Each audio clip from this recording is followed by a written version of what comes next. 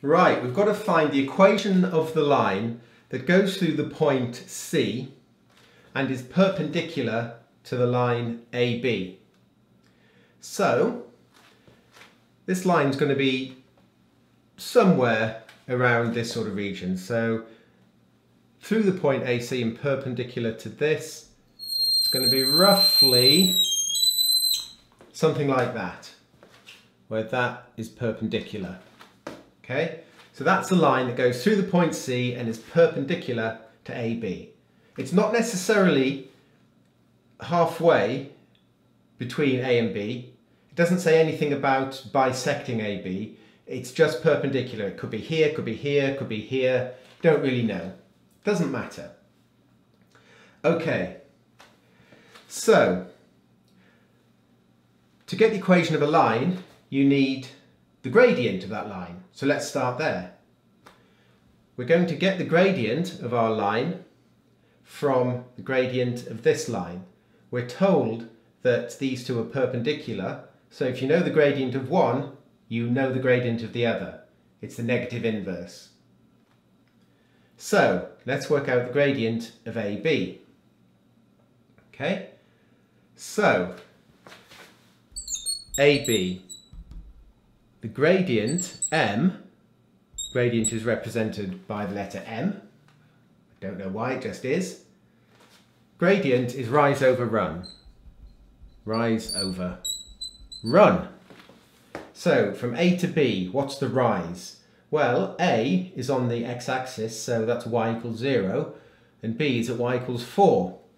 So the rise is 4 minus 0.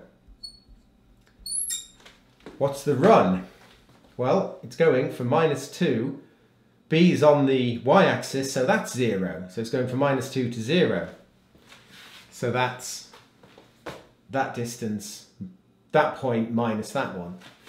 So 0 minus minus 2, if you like. Or just going, for, if you can think of it like from minus 2 to 0 is a distance of 2. Okay? So that's 4 over 2, which is 2. Okay, so the gradient of this line, sorry, AB, M is 2. Okay, so now we can work out the M of our line. And like I said, the if you know the gradient of one line and another one's perpendicular, you take, you, you've put that over 1 and change the sign, the negative inverse. That's how you go from the gradient of one, perpendicular, of one line to the line that's perpendicular to it.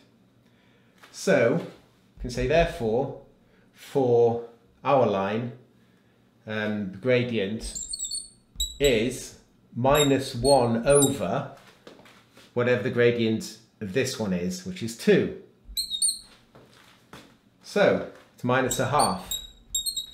We've got our gradient. Good.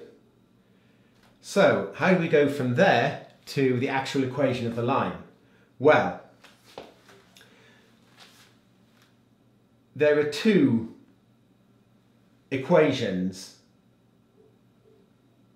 for expressing the equation of a straight line. You've probably seen y equals mx plus c. Okay, that's one of them. The other one is this.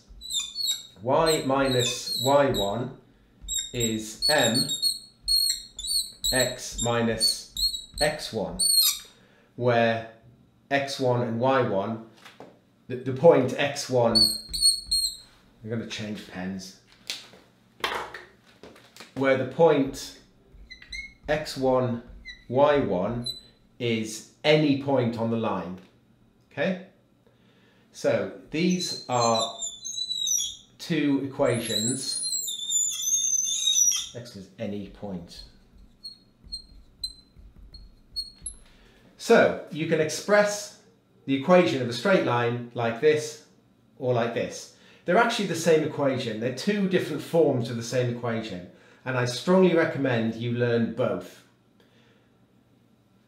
For some reason, in Britain anyway, this one seems to be taught more. But you should definitely know both because this one, it looks worse, but it's not. This one is better. It's really handy, this one, because you can pick any point on the line and you get the equation of the line.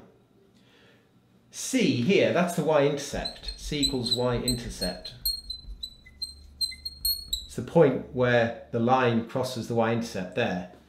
If we were to use this one, we'd have to work out that point there. So with this equation, you're restricted to finding the y-intercept.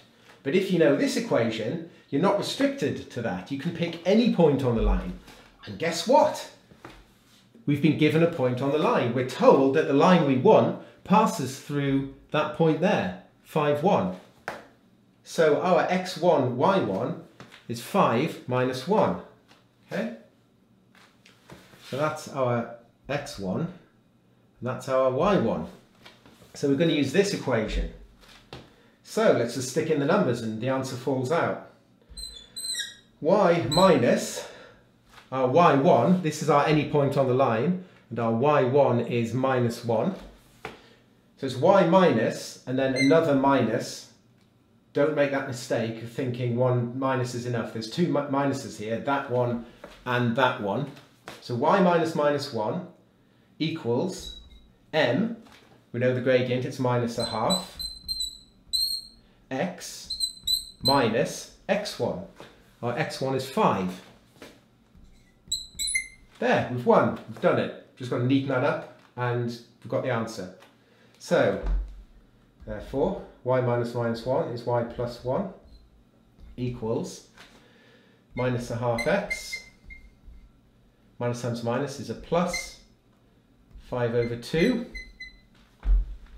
Okay, take 1 over there, subtract 1 from both sides. We get y equals minus a half x 5 over 2 minus 1 is 3 over 2.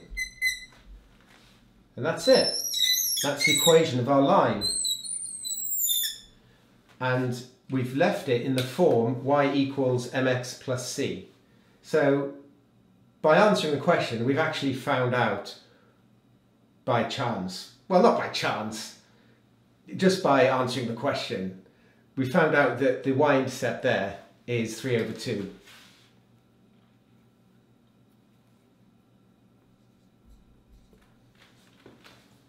Of our line. So, like I said at the beginning, it could this point here where they cross could be anywhere. And because it's 3 over 2, this is clearly not to scale. If that's 4, 2 is about there. So 3 over 2, which is 1.5, is about there. In reality, the line is more like, more like that, if you want it to scale. But like I said, didn't need to know that at the beginning, doesn't matter. So that's how you do it. Learn this equation, it's really handy. y minus y1 is m, x minus x1.